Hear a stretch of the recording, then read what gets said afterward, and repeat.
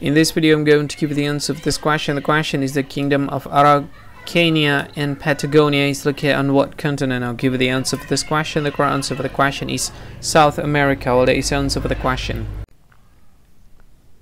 Hi, thank you so much for watching this video.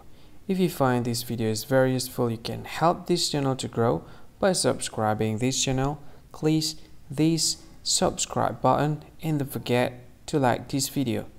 And if you find this video is not really good or you don't really like this video or you kind of feel that it's a little bit offensive or something like that, you can click this one, dislike button. You can do that anyway.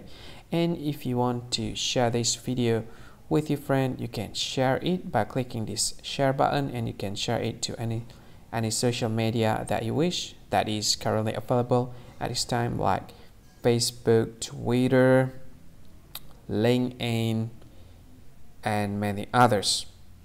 Right?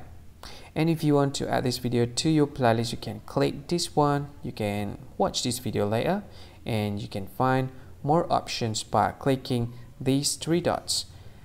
And yeah, don't forget to subscribe. I think that's all of it. Thank you so much for watching this video and see you again in another video. Bye bye. See you again.